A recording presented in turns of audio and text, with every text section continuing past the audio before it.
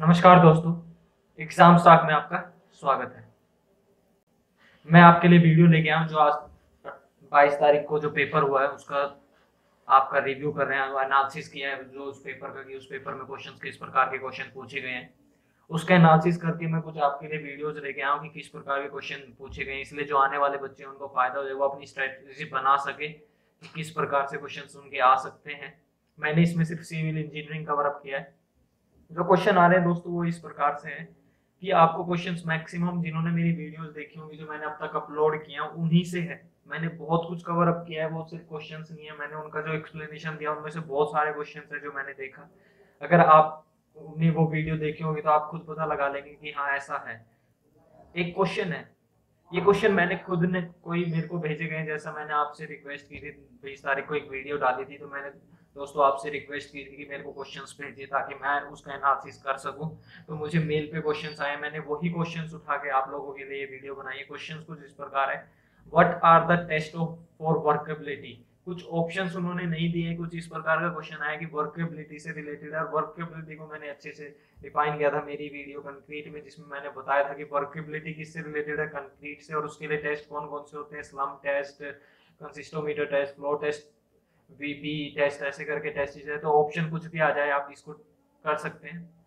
Next question उन्होंने भेजा हुआ है Los Angeles test is for Los Angeles test किसके लिए किया जाता है? ये टफनेस टेस्ट है, किसी भी मटेरियल का, वो चाहे आप एग्रीगेट ले लो, कुछ भी, कोई भी मटेरियल ले लो, उसके टफनेस टेस्ट के लिए हम कौन सा यूज़ करते हैं? लॉस एंजलस टेस्ट तो ये भी आपको ऑप्शन को देख ऑप्शन को देखते ही कर सकते हो। ऐसा ऐसा क्वेश्चन देखने से ये क्वेश्चन दोबारा रिपीटेड नहीं होंगे दोस्तों बट इनसे रिलेटेड आपको आइडिया मिल जाएगा कि किस प्रकार का पेपर आ रहा है। नंबर ऑफ़ ब्रिक्स रिक्वायर्ड पर 20 क्यूबिक मीटर क्या है कि वन वन क्यूबिक मीटर में हम नंबर ऑफ़ ब्रिक्स हमें याद ही हो गए थे तो डायरेक्ट आंसर लगाते थे 500 तो अब 20 क्यूबिक मीटर में पूछा 20 क्यूबिक मीटर में निकालना कोई टफ नहीं है। आप उसी 500 को 20 से मल्टीप्लाई कर दो, आपको 20 क्यूबिक मीटर में नंबर ऑफ़ ब्रिक्स पता चल जाएँगे। नेक्स्ट क्वेश्चन कह रहा है कि जो रैंकाइंस थ्योरी है, उसकी अजम्पशन है कुछ।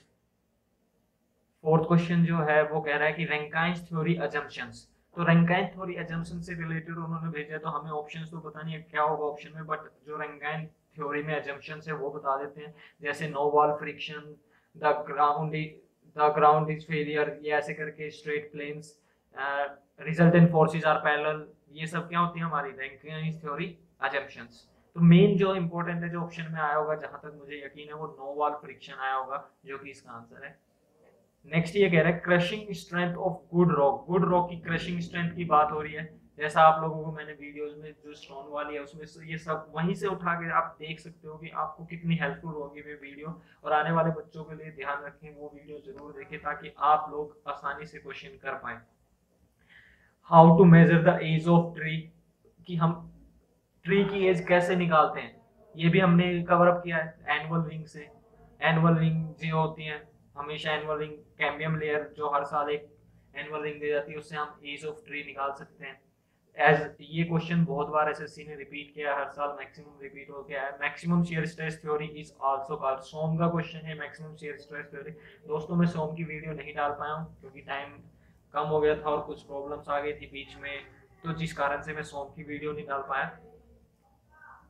बट ये कह रहा है कि मैक्सिमम शेयर स्ट्रेस थ्योरी को क्या कहते हैं? मैक्सिमम शेयर स्ट्रेस थ्योरी हमारे सोम का क्वेश्चन है। इसको हम गेस्ट और ट्रेस का थ्योरी भी कहते हैं। जीटी थ्योरी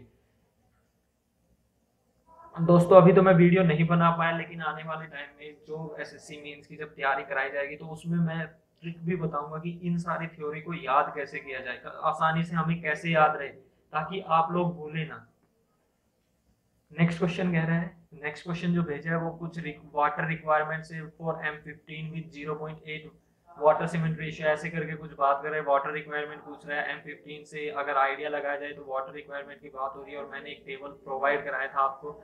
और ये near about zero point six zero water requirement होता है एम फिफ्टीन के लिए।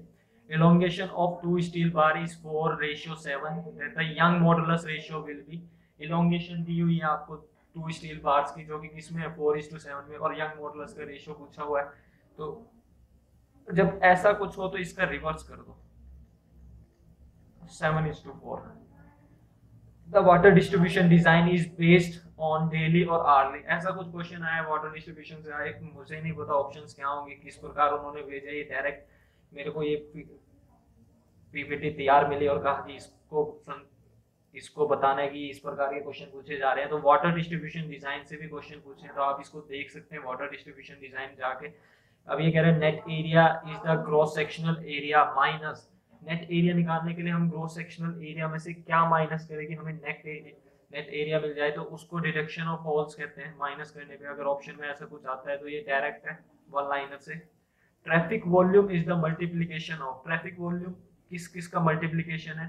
ट्रैफ़िक डेंसिटी का और ट्रैफ़िक स्पीड का।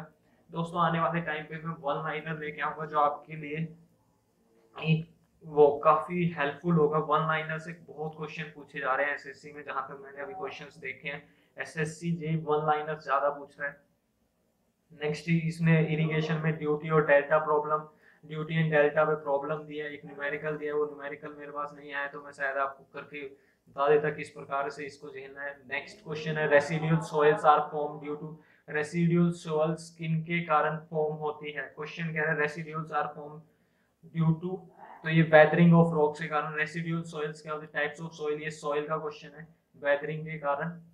परफेक्ट और इम्परफेक्ट फ्रेम प्रॉब्लम्स ये भी न्यूमेरिकल आए परफेक्ट और परफेक्ट फ्रेम पे ट्रस्ट का क्वेश्चन है। Torsional resistance is directly proportional to torsional resistance किसके प्रोपोर्शनल होती है, ये क्वेश्चन ये स्टील से क्वेश्चन उठाए तो जहाँ तक देखा जाए दोस्तों, काफ़ी इतना मॉडरेट लेवल कह सकता हूँ मैं एसएससी जेई का ये।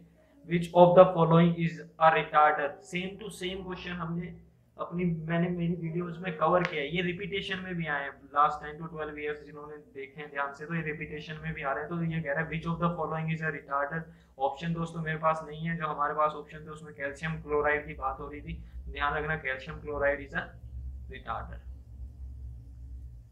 next viscosity of liquid effect by temperature viscosity पे क्या इफ़ेक्ट होगा शायद इस प्रकार का क्वेश्चन है।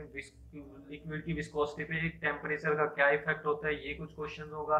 ये कह रहा है distribution means water supply at distribution means की बात कर रहा है। Curvature reflection and correction for two kilometre जिन्होंने मेरी वीडियो सर्वे की देखी हो तो मैंने वहाँ पे फॉर्मूला भी दिया था कर्वेचर और रिफ्लेक्शन का। D square by two R होता है curvature reflection one by seven तो जब आप वैल्यूज़ पुट करोगे, पूरा न्यूमेरिकल दिया होगा आप लोगों को, ये पूरे न्यूमेरिकल के हिसाब से जब वैल्यूज़ पुट करोगे तो आपको करेक्शन मिल जाएगी। नेक्स्ट क्वेश्चन कह रहा है T beam question T beam T beam पे भी क्वेश्चंस आए नेक्स्ट क्वेश्चन कुछ नहीं टी बीम पे क्वेश्चंस पूछे गए आरसीसी से तो आप देख सकते हो जिप्सम इज़ अ डैश तो ये डैश में कुछ भी हो सकता है, नहीं पता, उसने ऑप्शंस में sediment free rocks physical properties के हिसाब से पूछा तो जिप्सम एक सेडिमेंट्री रॉक्स है। मैंने जब मेरी स्टोन्स की वीडियो बनाई है, वहाँ पे एक टेबल दिया था और कहा था कि इसको रट ले। इससे क्वेश्चन हर बार आते हैं। दोस्तों, इस बार भी आ गए। तो आपके लिए ये हेल्पफुल है।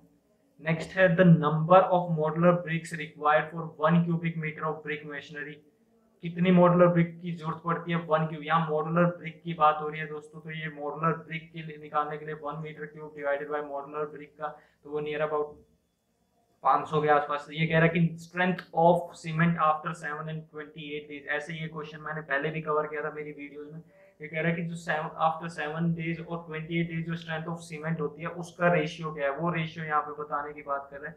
Excess alumina in brick causes जब एलुमिना एक्सेस में प्रेजेंट हो तो क्या काज करता है? ये भी क्वेश्चन हम अपनी वीडियोज़ में देख चुके हैं। वो एक्सेस एलुमिना रिस्पॉन्सिबल है श्रिंकेज और वार्पिंग के, के लिए। साइज़ ऑफ़ मॉडुलर ब्रिक आपको पता है मॉडुलर ब्रिक का साइज़ क्या है? हर बार क्वेश्चन रिपीटेशन में रहा।